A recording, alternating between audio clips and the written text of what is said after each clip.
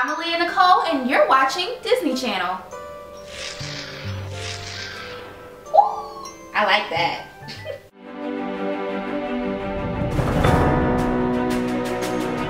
Hola, ¿cómo estás? I that's all the Spanish that I know. What's up y'all? Aleigha Nicole here and this is a DCP conversation.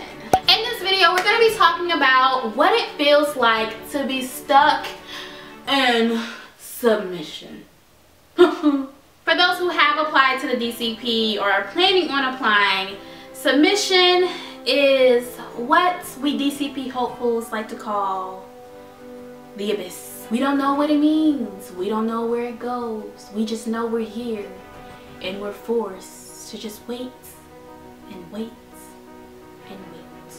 When I applied for the DCP, I didn't even know that it was a bad thing to be in submission until I got caught up in that Facebook group. Y'all, let me tell you something about this Facebook group. It is, it is very nice. It's a very nice place to meet new people and to talk about Disney and to, to share all your Disney fanaticism. That's not a word, but share all of that with people who are just like you. It's a great place, but being caught up in that group, y'all, a good thing is not a good thing because then you start reading everything, then you start reading too much and everything, then you think you start seeing Disney signs everywhere you go and it gets to you.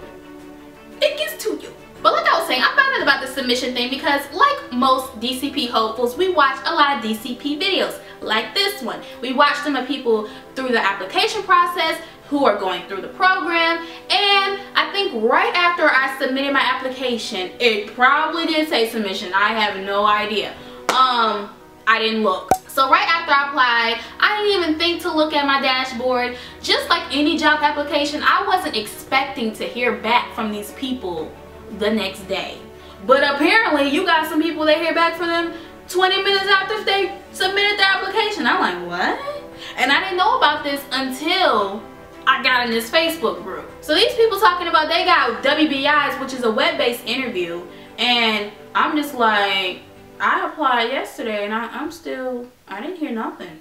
For those who don't know what the application process is, let me break it down really, really, really quick. First, you submit your application and then you move on to a web-based interview, aka WBI. If you pass that WBI, then you get invited to do a PI, which is a phone interview. If you pass the phone interview, guess what happens?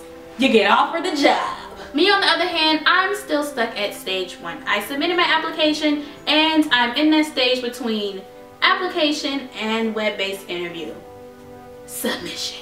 I haven't even had a chance to prove to Disney that I'm a good catch. Just like people out there who are in submission. And like I was saying, so I didn't even know or even think that being in submission was a bad thing until I got caught up in the Facebook group and everybody was like, well, what does it mean? And, and, and is it really a bad thing? And what has happened to people who have been in submission? And has anyone ever gotten out of submission? And if you got out of submission, what did you do? And what was your application? It was like, oh my God, it was just so much. And I was like, oh my God. But the bottom line is we don't really know what submission means, but people have their theories and they have their ways of thinking when it comes to how you even end up in submission. But the truth is, none of us know what we're talking about. You really want to know what being submission feels like? It's like when you want something, but you don't really know if you're going to get it or not.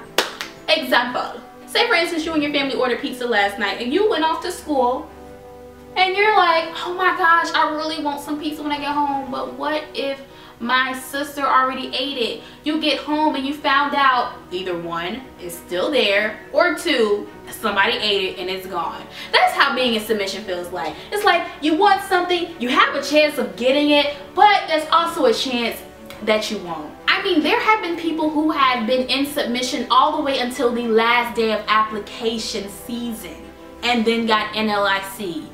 How much more disrespectful can that be?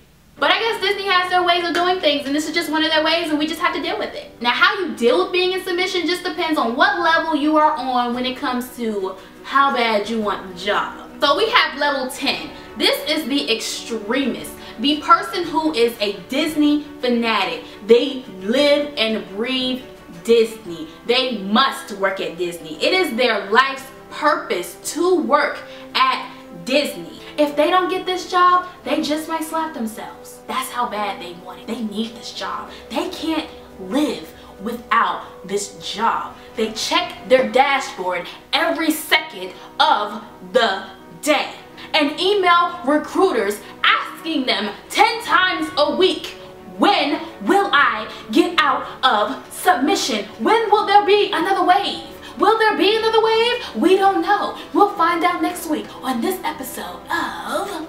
Okay, so you get the point. The second type of level you could be on is, I'll say, a number five. This is the person who, they apply for the job for a reason. They have their reasons as to why they applied.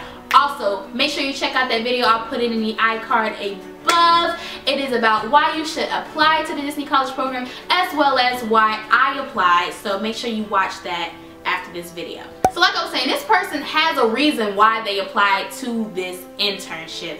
And they really do want the job. But at the same time, they try not to worry about it too much. So they try to occupy their time doing other things. So it's like they want the job, but they'll be okay if they don't get it. And then you have the person who is on level one, who they just don't care if they get it or if they don't. They're really nonchalant about the situation. It's just like, if they get it, they get it. If they don't, they don't. Now, neither one of these levels are better or worse than the other. Now, what people on these different levels have to do is occupy their time until they actually hear back from Disney. So the best thing that you can do when you're stuck in submission is to just keep on doing what you were doing prior to applying to the job. If you're in college, keep on going to your classes, keep on being involved on campus, keep on working your part-time job. If you just graduated like me, you know, if you still ain't got no job, well, you know, just keep on searching for a job. I'll let you guys in a little bit on what I've been doing to occupy my time on waiting to get out of submission. I've been trying to worry about what I'm gonna do next. And that's my main priority right now is figuring out what's my next step. Am I gonna move somewhere new? Am I gonna get a job in my city or am I gonna get a job out of my city? We don't know. But as of right now you know i'm on the job search but i'm also keeping up with this youtube channel because i host a college series on this channel called thrive during college. And with the dcp conversations is something that's dcp related. And ironically it does keep my mind off of submission but at the same time of course i still think about it like I'll probably go check my dashboard after I finish recording this video. So if you're currently in submission, I wish you the best of luck on getting out. Let's hope these character auditions save us. Thank you for watching this video. I hope you enjoyed it. Give it a huge thumbs up if you did. And subscribe to this channel. Hit subscribe. I'll see you in my next video. I'm Leah Nicole. Don't forget to have a magical day.